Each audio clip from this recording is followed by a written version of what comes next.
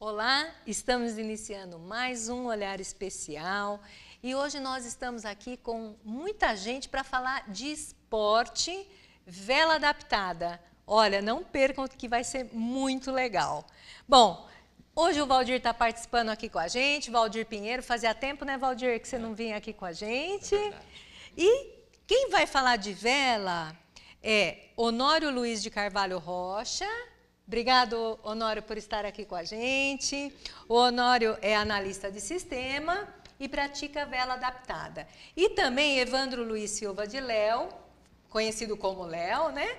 Que trabalha com marketing, né? Exatamente. Léo, obrigado. muito obrigado por vocês estarem aqui com a gente, participando do Olhar Especial, falando aí de esporte. E, Cris, eu quero agradecer mais uma vez de você estar aqui presente com a gente. A Cristiane de Souza é nossa voluntária de Libras, né? E vai participar junto aqui, nós vamos interagir. Então vamos começar. O que é vela adaptada, Honório? Vela adaptada é, é o esporte que propicia ao, ao deficiente físico poder velejar, usar um barco à vela para se locomover. Ou para praticar esporte, ou para fazer vela de cruzeiro, que é passear assim, pura e simplesmente. Tá. E como que você chega na vela? Você parece que antes andou jogando basquete? É, acho que a porta de entrada da maioria do, do, dos deficientes é o basquete, né? Porque é o que é mais divulgado, é o esporte mais conhecido. A vela, até, até mesmo para quem é andante, ela não é muito conhecida. Embora o Brasil, o Brasil é, é, é dentro do, do, mundo esportivo de, de, vela, é um país super respeitado. Nós temos os grandes campeões como Las Grael, Robert Scheider, e tem os mais antigos também, tem bastante tradição na vela. O Brasil, em vez de ser o país do futebol, se fosse no ambiente olímpico, ele seria o país da vela, porque é o esporte que mais medalha olímpica trouxe para o Brasil. É mesmo? E você estava dizendo que Lars Grell acabou de ganhar? Acabou de ganhar o campeonato mundial da classe Star. É uma de classe vela. de vela, uma classe muito tradicional na vela e, e super competitiva. E você estava dizendo que Lars Grael, ele não compete como para em não, não, ele, ele, compete na Olimpíada mesmo.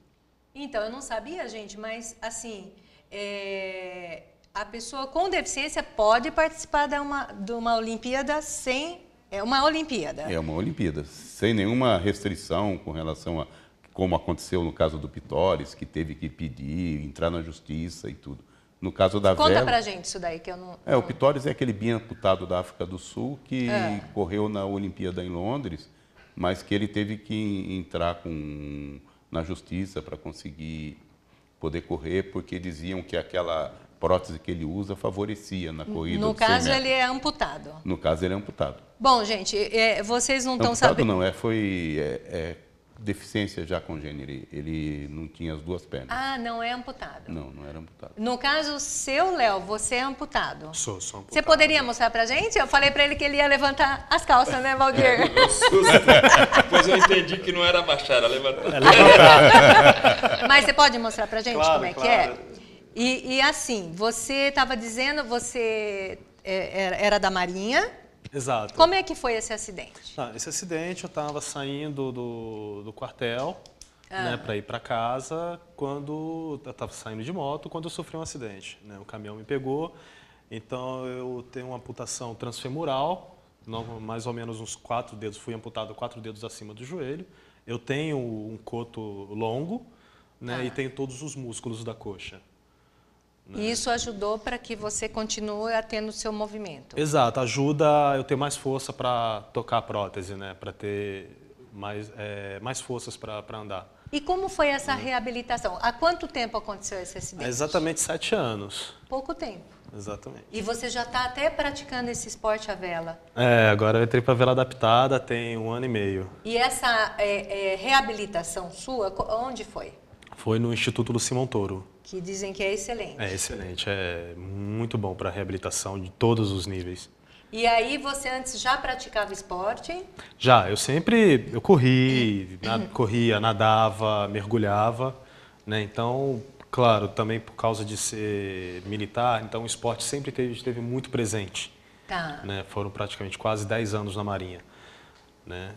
Até o, até o acidente. Então, eu sempre pratiquei algum tipo de esporte. Tá. A atividade física era muito presente.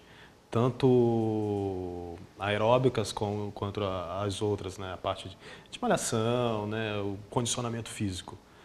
né? Aí, a partir daí que eu sofri o, o acidente, eu achava que eu já estava limitado, mas não. Aí veio a oportunidade de praticar a vela, né? Olha só que E interessante. achei, não, não estou limitado, então dá para dá pra fazer muita coisa. Aproveitando isso, Honório, a, a sua deficiência, como é que ela apareceu? É, foi pólio desde os dois anos de idade. Igual você, né, Valdir? Idêntico, igual eu e igual o irmão do Zezé de Camargo, Luciano. Não, Ah. eu sou mais bonito, Valdir. É? É, eu, sou mais- eu, eu concordo. Eles tão, vocês estão ouvindo? Eles estão falando que eles são mais bonitos. Mas e aí? Você, eh, como é que foi então a infância? Como é que foi essa evolução até chegar hoje nesse, nessa vela adaptada? Como é que você, foi esse esporte todo na sua vida? Eu acho que a infância é tranquila, que na infância criança não tem é, preconceito, discriminação, nem sabe o que é isso, né? Depois que começa a crescer, é que começa. O problema são os pais das crianças. É, são os pais das crianças. E, né, os adultos. né? Exatamente. Tá. E, então a infância não, eu não me sentia com deficiência, foi tranquila e sempre estudei em escola pública normal. Me formei, constituí uma família, eu tenho três filhos, três netas já. Tô ganhando de Já? você. Tô ganhando de você. Três netas? Seis filhos. É, ele não economizou, não. Não, mas esposa só tem uma. Era, não é que é. É, agora sim. Ele falou que só tem uma e você tem duas. Aí, tá vendo? Não, tem não, tinha, que isso? Foi com duas, né? Ah, foi com duas. explicar isso. Uma de cada vez, né? É, claro. Mas então, Não, no meu caso foi a mesma esposa, já tem 35 anos, Que então. legal. Acho Tá. que é 38. Três Ela, ela, ela que faz essas É, a gente que faz, a mulher. Tá. E aí você, quando que você começou a fazer o basquete? Ah, o basquete eu comecei bem tarde. Eu tinha uns 40 anos quando eu comecei a praticar Nossa. basquete. Naquela época não tinha, assim, incentivo, né? Não, não, não tinha nada. Você nem sabia nada. que existia basquete. É né? verdade, é. Tá. Você tem pouco conhecimento, né? A natação, o basquete são os esportes mais populares. A gente tinha pouco conhecimento. E você chegou a participar de um monte de coisa que eu vi lá no É, no basquete eu currículo. participei de, é, de um campeonato paulista. A gente foi, foi campeão e tudo. Foi algumas coisas assim, mas... Tá. E Mas fora é isso, no você. basquete a questão da idade, você Ah. já não é que nem um molequinho que chega lá e te dá um drible e você Ah. fica humilhado na frente dele. Esses esportes têm muito a ver com a idade, né? Ah, a, é? É. A vela não. A vela é um esporte que tem a ver com a experiência, com o seu conhecimento e com a sua habilidade. Ela E, e o basquete também, desculpa interromper, tem muito contato, né? é muito contato, muito pé de homem suado. Eu não é fiquei muito assistindo uns aí falei, não para comigo não. Mas então vamos falar dessa vela. Você falou que aí não tem muito limite para a idade. Como não, é que é? porque a, a vela adaptada, principalmente, é, é, dependendo da sua deficiência, você vai fazer a adaptação no seu barco. Então, você não vai ter problemas que você vai ficando velho, vai melhorando E as você adaptações. falou que são três pessoas no barco? O barco que a gente veleja são três pessoas. No Existem- caso, o Léo faz parte da equipe. Faz parte da equipe. Ah, O- o- existem três modalidades paralímpicas. A de um tripulante, que é um barco sozinho, parecendo um caiaque, que a pessoa veleja com ele. Tem um Qual barco... do Fernando? Fernando Fernandes. Não, lá é, é remo. É caiaque a remo. Eu estou falando que o barco, a vela, ele parece um caiaque, mas tem duas velas. Bom, enquanto a gente está falando aqui, nós vamos vendo foto, né? Uhum. Ah, vamos chamar o filme para a gente já comentar do filme, né? Ah, sim, é. Muito interessante. pessoas- Aliás, o Mackenzie que fez para vocês, a TV Foi, a Mackenzie. TV Mackenzie que- Que bacana que foi essa. Quando né? teve Vamos o acidente soltar do, do Las Grael, teve um, um pessoal que ficava no Clube Municipal de Esportes daqui da Prefeitura de São Paulo. E o pessoal começou a, pesquisar e descobriu que existia a vela adaptada. Aí eles é, resolveram criar um, um contato, o primeiro contato com deficiente e água aqui na represa.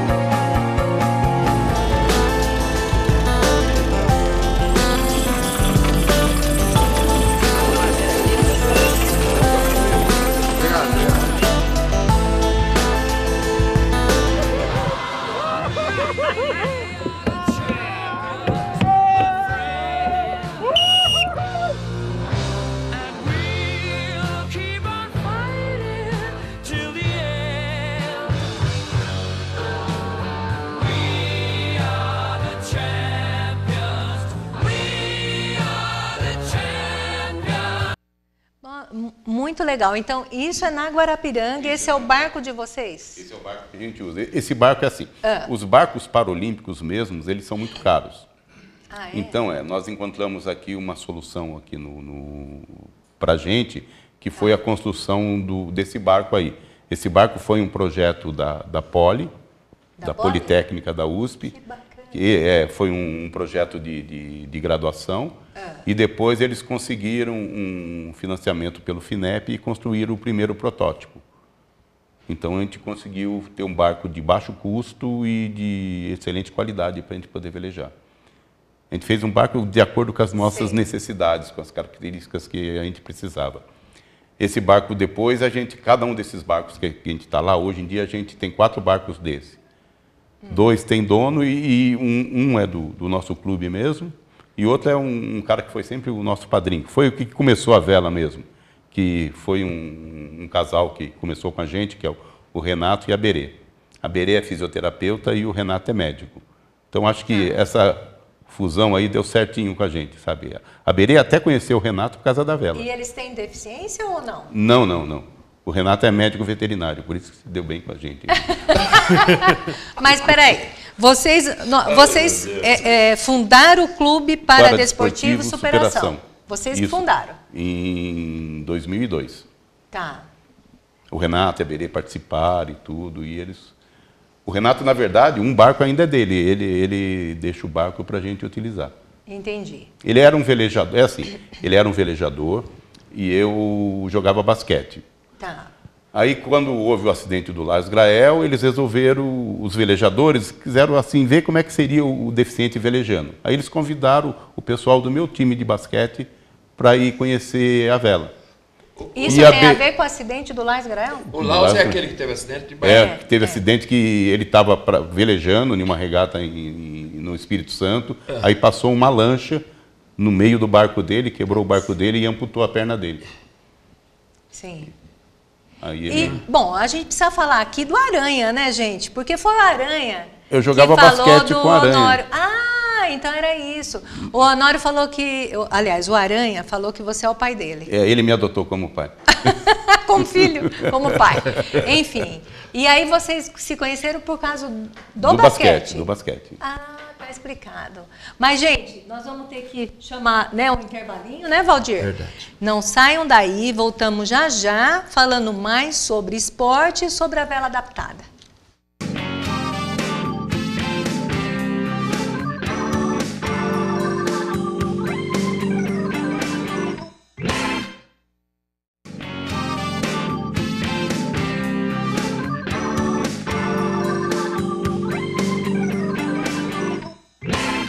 Bom, gente, nós estamos aqui no Horário Especial, hoje falando de esporte, vela adaptada. E quem está aqui com a gente, né, Valdir? É o Honório Luiz de Carvalho Rocha, aqui com a gente, e Evandro Luiz Silva de Léo, certo? Bom, eles são do Clube Paradesportivo Superação, que eu estava vendo, inclusive, no site. Aliás, olha, tá aí o site para vocês, o Facebook, para ter mais informações sobre isso. É, parece que tem até um, um projeto com criança que vocês estão desenvolvendo lá, que eu estava olhando, é isso? Isso, esse projeto começou, na verdade, em 2002, que a gente tenta dar iniciação na natação para crianças, crianças deficientes. Até as crianças que a gente começou na época, agora já são... Já estão tudo já jovens. Tudo, tudo jovem. Tá. E se a pessoa quiser continuar com a gente na, na- na- nos outros, na, na prática da natação competitiva, daí pode continuar. Ou então, se quiser conhecer a vela, participar da vela também, é só procurar a gente. Honório, e quem quiser ir até lá, passa para o contato onde é, que lugar que é da Guarapiranga, né? Para conhecer, porque diz que pode ir lá passear com vocês, é isso? E isso, pode conhecer a gente. Como pode... é que é o custo disso? Pode ter aula? Pode ter aula. O, o que nós estamos fazendo é, é propiciando que as pessoas tenham um primeiro contato com, com a vela, conhecer o que é a vela. Porque normalmente as pessoas pensam que é barco a remo, que vai fazer força, ou que tem um motor para levar. Não, a- tudo que conduz a gente é a vela. É o vento. A vela é o, é o vento? Eu também achava que tinha motor, não tem? Não, não, não tem motor, é o vento. Doutor Alvento. Nossa, mas lá venta tanto assim? Venta. É, os ventos daqui de, de São Paulo. É que a gente não nota por causa desse monte de prédio, mas É. tem, tem bastante vento em São Paulo. E aí você falou que tem três pessoas no, no que vocês praticam, no bar, é o isso? barco que a gente pratica, para competição são três pessoas. Mas, É. por exemplo, para fazer um passeio, a gente consegue botar até seis pessoas em um barco desse. E você, no caso você é cadeirante, como é que, em que parte que você fica do, do barco fazendo o quê? O Léo, ele joga o corpo para lá, levanta, vai para lá e para cá, é isso? É, eu cuido da, da vela mestra, Nossa senhora, que que é a maior virada. vela que tem no Ó, barco. olha uma Pra quem tem adaptação, medo que tá nem vendo? ó, Ah. uma adaptação que tem, ó, tem um banquinho, tem uma travessa para ele passar de lado, porque Ah. ele tem uma lesão muito alta. Então ele te- tem dificuldade de equilíbrio e tudo, ele teve que fazer essa adap- as Olha adaptações. lá, olha que virou ali, ó. Ah. Ali, eu, tô querendo ir, mas tô com medo. Não, não, mas aquilo lá é tranquilo. Ah, eles, põem, eles põem um colete em Isso. você. E você fica onde então, Honório? Ah, É você que está ali. Não, não. Ali sou eu, não. Tá. Ali é o Shimu que está. Ele Shimu- é o timoneiro do barco. É, nós estamos nesse Ó, a Moni, aquela. Ah, a e o Léo. a Mone, que já fez o programa com a gente. Isso. Ah, É, então, são três posições: o timoneiro, quem leva aquela vela maior, aquela mestra, e quem leva a vela da frente. você faz o quê? Eu fico como timoneiro, mas posso fazer qualquer uma das funções. aí. E o Léo? O Léo fica com a vela grande. A vela grande. A vela grande. mestra. Ó, esse é o projeto Aí- de natação nosso. Então lá, é, é, como é que é o, o nome do clube? Que... Clube Paradesportivo Superação. Tá, esse é, É o é- nome que a pessoa isso. vai chegar lá na Guarapiranga. Não, eu acho que é melhor marcar com a gente no site para saber, marcar, po- pode mandar um e-mail para a gente ou mandar pelo Facebook, qualquer Tá. contato para a gente combinar. Fica melhor do que a pessoa aparecer lá. Entendi. No- nós estamos no clube. Olha na, lá as na- crianças. Na vela nós estamos no clube ASBAC, é a Associação dos Servidores do Banco Central. Ah, que a gente tá. tem um convênio com eles e os barcos e tudo fica lá no ASBAC. Tá. Guarapiranga é aqui em São Paulo. Guarapiranga, aqui em São Paulo. Mas assim, quem está lá nos assistindo, por exemplo, chegou lá na Bahia o programa, ou no Espírito Santo, ou no Mato Grosso, que o programa vai aí para 66 cidades, né? É, quais as dicas que você dá para as crianças, os jovens com deficiência, é, entrar nesse mundo do esporte? Você acha importante o, o esporte, vocês aí, né, Valdir, para a pessoa com deficiência, para a inclusão Ele tem que começar na escola. na escola? Na escola. Tem que ser, o, o- é, na verdade, é o professor de educação física de todas as escolas que acho que é o, ponto de entrada de, de, de qualquer deficiente no esporte. E, e você brincava? Eu brincava, mas não fazia educação física. Dizer, Não fazia. Meus professores nunca orientaram a eu fazer, porque naquela época não, deficiente não podia fazer esporte. Tá. E hoje você estava dizendo, tem o, o, o- pessoal cego, joga futebol. Tem futebol de cinco, é um esporte que foi desenvolvido aqui no Brasil. O Brasil é tetracampeão no Como é que chama esse esporte? Futebol de cinco, Ah. que são cinco, cinco jogadores de cada lado. Aproveitando esse momento da Paralimpíada Rio 16, o esporte, a educação física, o que vocês têm a dizer para quem está assistindo aí? O que, que vocês acham importante? Eu, eu acho que esse momento é importante é levar informação para as pessoas de que o deficiente pode praticar esporte. Ah. Todo, todo mundo acha que sempre vai ter um esporte que você se ade- adeque a, a praticar. Se não for vela, é natação, basquete, bote, qualquer coisa.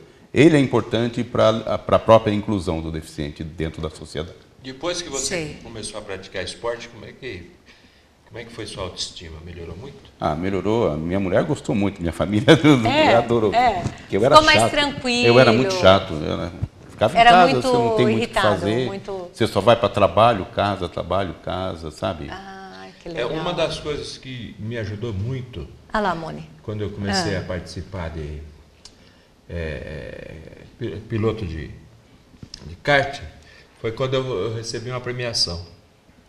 Eu nunca, nunca tinha recebido uma premiação na minha vida. É mesmo, Valdir? Puta, aquilo foi a maior felicidade da minha vida. Que legal. Não, é Aí bom. foi quando eu comecei a incentivar mais e mais que as pessoas, principalmente com deficiência, pratiquem esporte. Vamos falar, perguntar para o Léo. Léo, e você? Você falou que está um ano e meio na vela? É, um ano e meio na adaptada? vela. Na vela adaptada. E exato. como foi chegar nesse grupo aí, depois do acidente, a, a deficiência? Teve. Ou isso ajudou de alguma forma? É, então, sim, praticar o esporte, como o Honório falou, é, a autoestima, né, ela fica num grau muito elevado, é muito bom. Né, tanto para é, o seu ego, né, Tá. quanto o ego, quanto socialmente, no seu convívio social. Então, se você tem uma autoestima, a- a- ela tá, tá positiva, você, o convívio com as pessoas se torna mais agradável. Né? Você não fica chato. Né? Você não, não- você não Se fica reprimido. né? Exato. né? É. Então você se sente bem. Eu cheguei na vela, eu estava trabalhando num evento de vela da classe Star, quando eu conheci o, o Ivan, o Ivan Quirico, que estava, ele é amputado e estava participando dessa, desse campeonato. Ah. E ele me convidou para conhecer o Superação. Tá. né? Então marcamos de velejar um final de semana. Eu e a partir daí não, não, parei, não parei mais. Né? Eu Continuo, fui velejando, a gente foi participando das regatas. Quando o Honório convidou também para fazer uma. A gente falou, vamos montar uma equipe por E causa como é da que nossa vocês se pontuação. conheceram? De- Lá no clube. Lá no clube. Ah, lá no clube. Ah. Né? Ele convidou, ó, vamos fazer uma equipe e vamos começar a treinar com, com mais com disciplina, com pontualidade? Vamos, né? Aí come, começamos a esses treinos, né, mais mais assíduos e até a gente participar do, do, do Campeonato Paulista, ganhamos o Campeonato Paulista e agora a gente vai para o Brasileiro, né? Olha que chique, gente. Olha só, vamos pro ele me brasileiro. eu vou- eu vou até- Ah! Uma coisa no, no dia a dia, aqui na Guarapiranga, a gente veleja contra as outras pessoas que, que andam, não, não, não são deficientes. É, não tem essa. É, porque, de- não, nó- nós, temos os campeonatos paralímpicos que, que são só de, de, de deficientes. Tá. Mas no dia a dia a gente participa das regatas que tem na Guarapiranga. E é muito gostoso ganhar deles. Ah, aliás, apareceu nesse, nesse filme aí. nada. Quem quiser assistir esse filme inteiro, acho que tem no né? Tem, tem, Tem, tem. tem no Porque é, é, você, eu vi lá que ela até fala que vocês ganharam no Isso, filme. ela foi velejar com a gente e ganhou na, numa Tá. regata lá. E falando de Paralimpíada, aproveitando aí a Rio 16, né?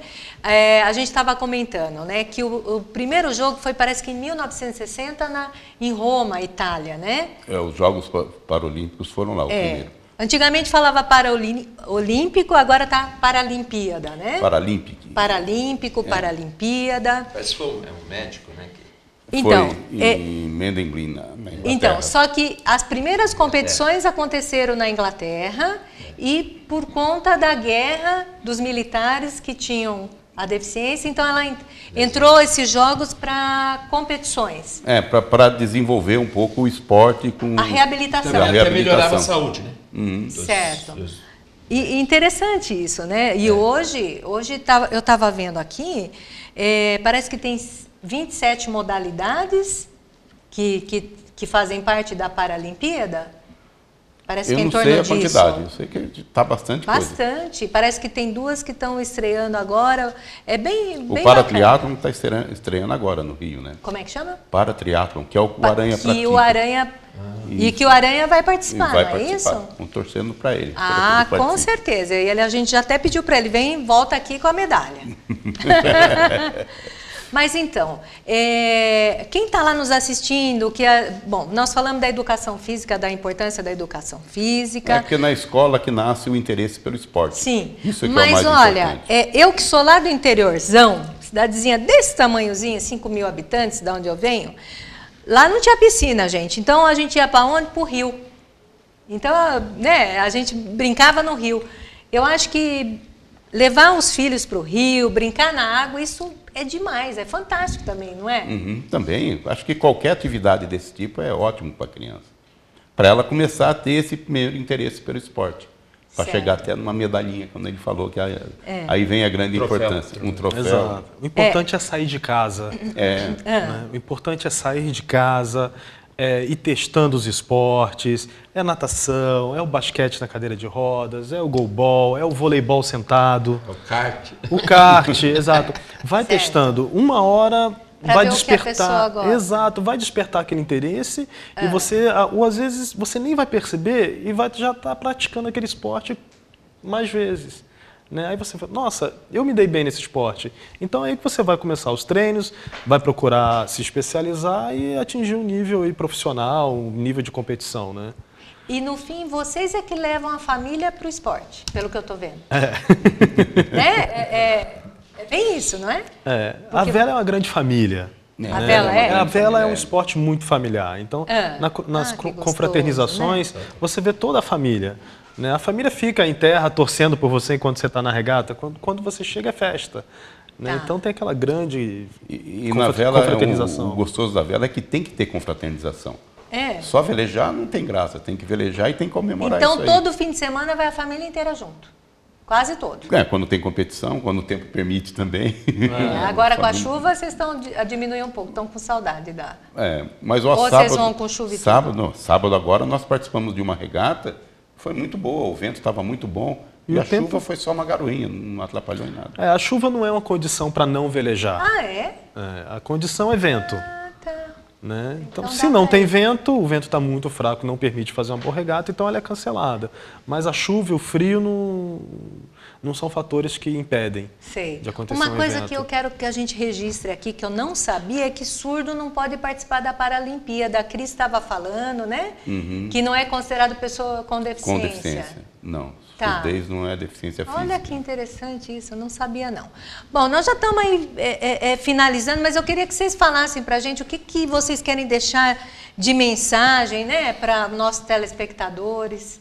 Ó, nós estamos agora é, fazendo a regata, vai ser no dia 12 de dezembro, a regata pela inclusão.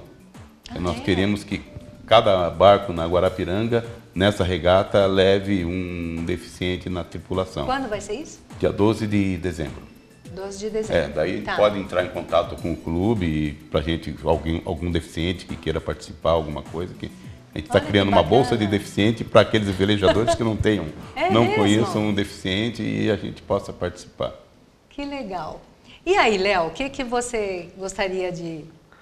É, é, o deficiente, como eu falei antes, ele tem que sair de casa. Então, assim, saia de casa, Ah. né, procure um esporte. Mesmo que se você achar que aquele esporte não, você não vai conseguir, tente, procure um professor de educação física. É, algumas existem academias específicas, às vezes você não quer praticar um esporte, mas quer é, se exercitar de alguma forma, fazer um alongamento. Existem academias para isso, que atendem bem o deficiente. Né? E saia de casa e pratique vários esportes, até que o momento você, você se interesse por um e, e continue nele. Né? Que o importante você- é ter prazer. Se as pessoas que estão nos assistindo quiserem ir lá só para conhecer, mesmo que não vá praticar o esporte, pode? Pode. É só entrar em contato com a gente que a gente agenda uma boa hora.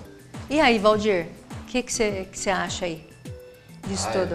Eu acho ótimo e eu vou querer participar também. Bom, então, então, gente, a gente está aqui finalizando o Olhar Especial e a gente quer muito agradecer a Deus de estarmos aqui, de participar, de levar essas informações, compartilhar essas histórias bem bacanas. Eu agradeço a todos vocês estarem aqui com a gente.